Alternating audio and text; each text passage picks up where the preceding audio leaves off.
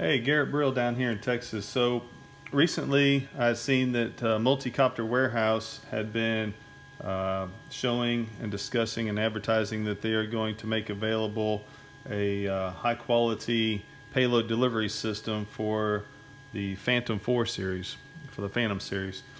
And uh, you know, I'd seen quite a few in the past, and they, they were okay, but this one this one really kind of had me interested, and um, and I wanted to try it out, and, and so I am, and, and here we here we are with it. So I want to say uh, so far my impressions are, are it is really nice. I kind of want to walk you through what I know now, um, and I'll kind of show you what we have, and then uh, in here just a little while we'll take it outside and put it to the test and see how it performs. So first of all, it kind of comes in this this nice case. Um, I have it out of the case right now, obviously, but it is a nice padded case, so the delivery is nice, and it comes with um, some extra equipment. It comes with extra line. This is kind of a very solid line. Um, these are little bands to wrap things up. This is your charging. This thing does have its own independent battery. It does not run off the battery. Even comes with a little tiny tool to swap out the light. And of course, this is where the main unit goes. So nice packaging, nice delivery. It does come with um, instructions. Uh, the instructions are, I'd call them good. They're not great. Uh, they're they're better than most instructions that come with a lot of this uh, drone equipment these days. Uh, as most of you know, the instruction books are, are pretty lacking, but uh, this one has pretty decent mounting instructions on it, and, and, it also tells you your setup, shows you the screens and everything else. So um, I had no problem with it at all, and I don't think anybody really would. Uh, could it be better? Sure, but, but uh, it's definitely adequate in my opinion. Then the unit itself, the unit itself is has a very nice finish to it. It looks factory. It it uh, fits right on there. It um, uh, there's no no strange uh, contraptions or duct tape and baling wire like like uh, I like to say. Uh, everything on there looks solid and, like I said, it really does look like a a factory unit. Uh, the installation is so easy that it just pops right on there. Um, the most difficult part, and, I'm not just saying this, is no exaggeration, the most difficult part is, is these two little bands right here. Now it's not that those are difficult, it's just that this thing is so easy to connect, ridiculously easy to connect that, that, um, that that's all there was to it, and that's really the hardest part.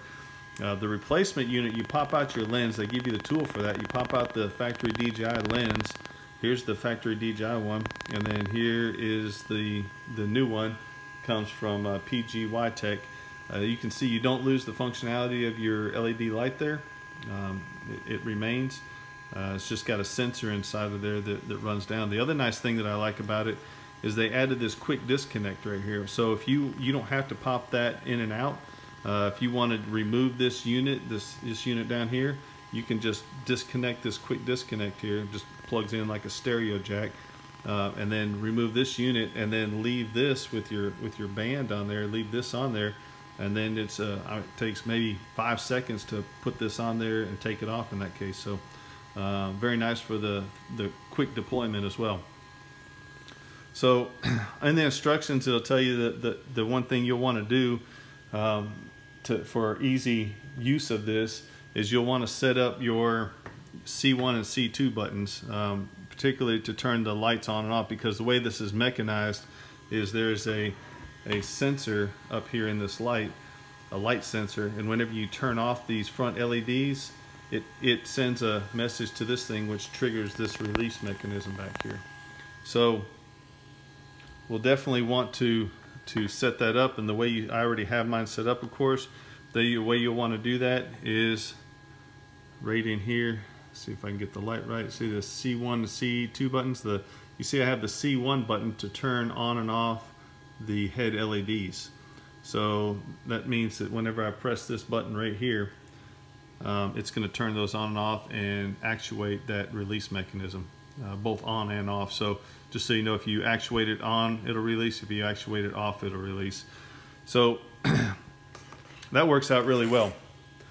Um, see if I can show it to you here. So I'm going to close that. See if I can if I can get in here close enough for it. All right. Let me move this to the side. Maybe. Okay. I think you can I think you can kind of see it there.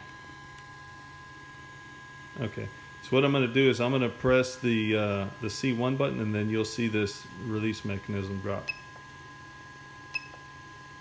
Oop. Yeah. Have to power it on first. There we go. Forgot about that part.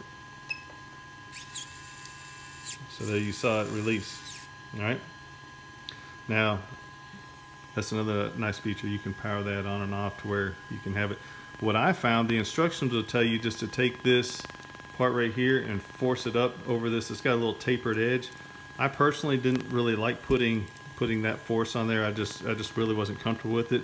So my personal way that I do this now is I just kind of hold this up here. I also have big fingers and I just actuate it and then let let it come and grab it. So that's how I do it now. I just I wasn't really comfortable applying that much force to it. it will do it, but I just really didn't like it. So uh, to each your own. Anyway, all right. Well, uh, and that's really it. It's it's that simple. Oh, one other thing I really do like about this is they designed these. See, these are the the clips to mount this on here. Now, some of the mount systems that I've seen in the past was really kind of wonky. You had to really fumble with it to get it. This one you can do it completely blind. Um, all you have to do is go up here and clip it on and it really is that easy. Right? Um, one of the things that I'll differ from in the instruction manual is they'll tell you that they want this cord to be very, very short. Um, for me, depending on what you're going to carry, that can actually be more of a detriment. Um, I found that having a little bit longer cord was beneficial to me. Uh, but again, that's that's just my personal finding. So anyway, let's take this thing out there and uh, we'll see what it can do. All right, so we made it outside.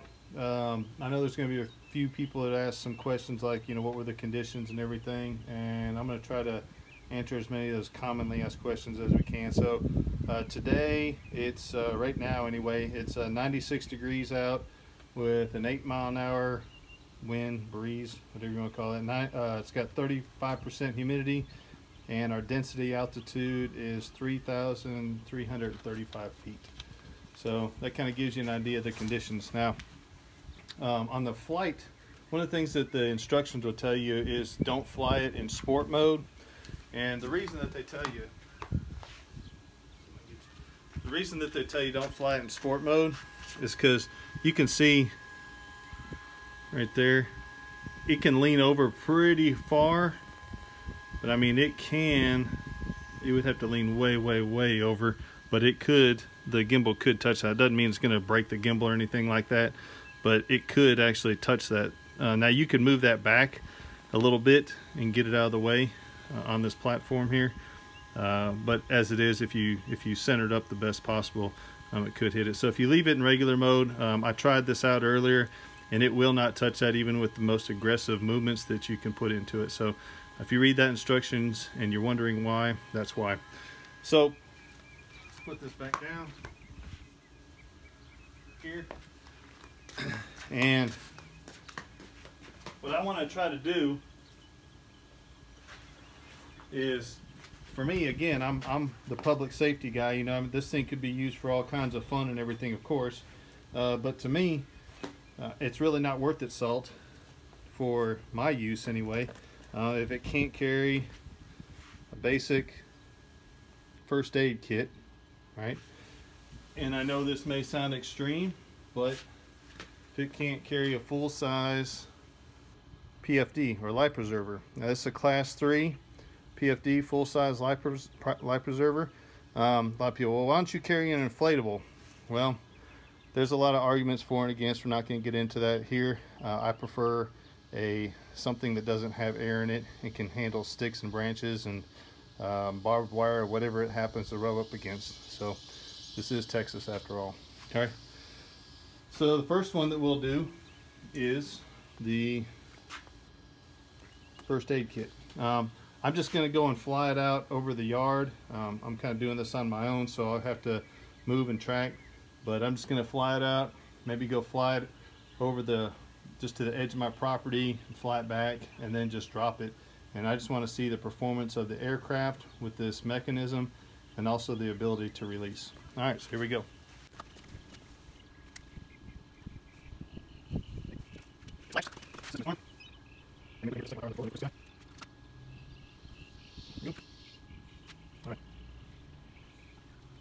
All right, so everything checks good. Let's see what she does. Take off. Uh, one of the things that you will want to do for sure on this is you will always want to make sure that you uh, disable your downward vision position. That, will probably be a question someone would have.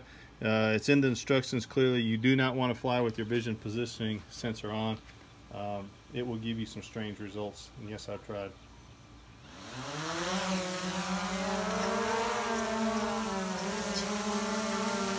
me see if I can't rotate you up here. So you can see it holding strong. I'm going to go out here. I'm to kind of give it some a little bit of uh,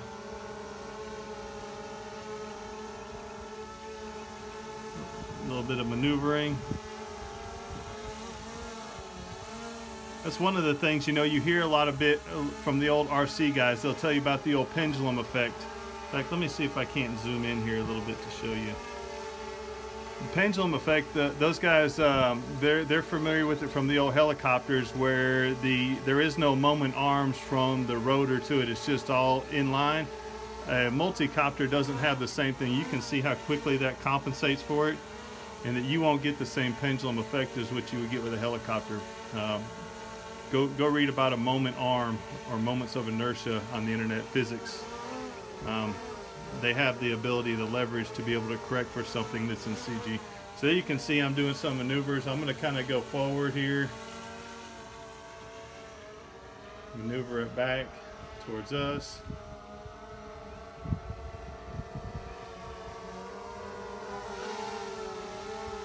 Bring it back over, over center here. And now I'm going to release it. there we go. So I would call that a definite success for the first aid kit.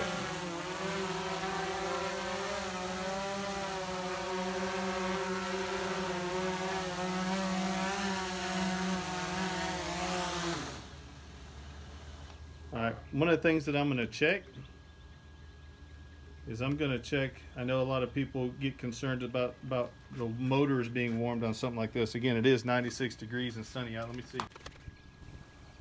So those motors feel 100 degrees tops. I mean, they are not hot at all. They feel about the same temperature uh, as if I'm just out flying. I, I see no uh, large amounts of overheating. So next thing that we're going to do is the good old full-size life preserver. This thing's significantly bigger uh, than the aircraft, but uh, I think it'll do it.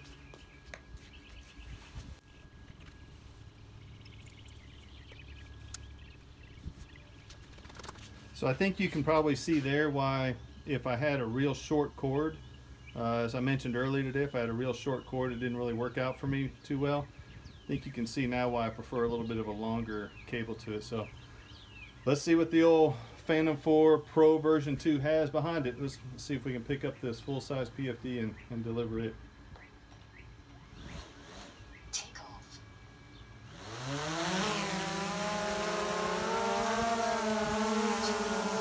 Over there.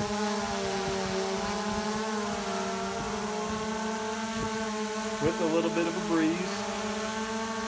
Take it out here.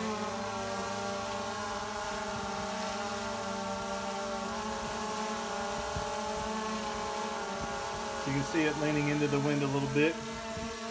Let's uh, let's do a little maneuvering back and forth here. Back this way.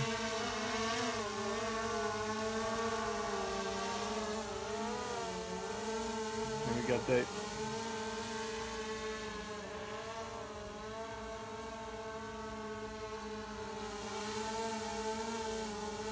Kind of take it up and over here. Get it up in the wind a little bit more. We're looking for performance here. See how this thing can do.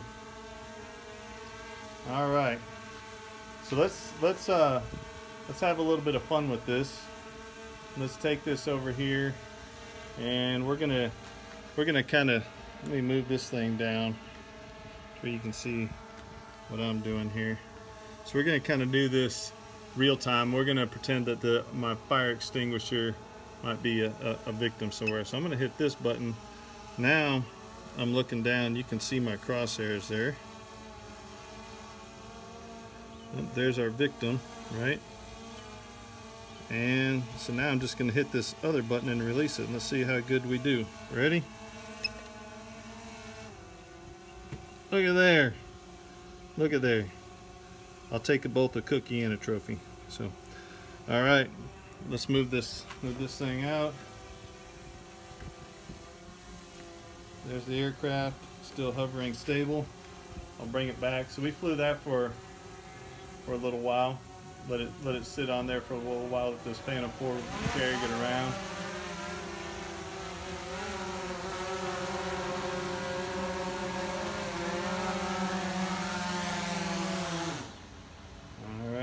brought it back and landed it. Again, sorry, I'm kind of doing this solo here. Again, I'm going to go and I'm going to check the check the motors between those two, both of those deliveries. Um, we used about 30% of the battery. So let's uh, let me go check these motors real quick. They're a little bit warmer. Uh, again, I, I, I, don't, I'm not putting a thermometer on them. I'd say maybe maybe around 105 degrees tops. Uh, they're still not hot or anything that I would worry about at all. Okay. Uh, the last thing that I'm going to do here in just a minute is I'm going to turn this off and I'm going to uh, check for the fit inside the case because I know everybody's going to want to know about that. Alright, so I know uh, one of the common questions anytime they get something, does it fit in the case? Can they get this and put it in the factory case for those that don't want to, to buy uh, any kind of aftermarket case? So here we go, obviously to put our uh, gimbal clamp on.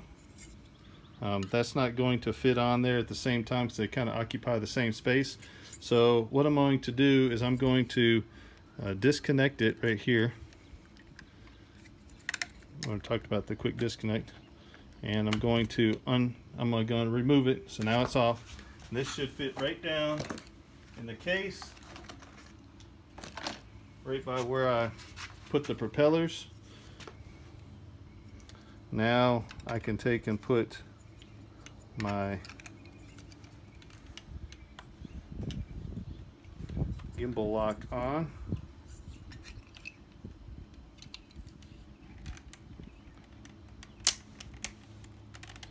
Right, so my gimbal lock is on and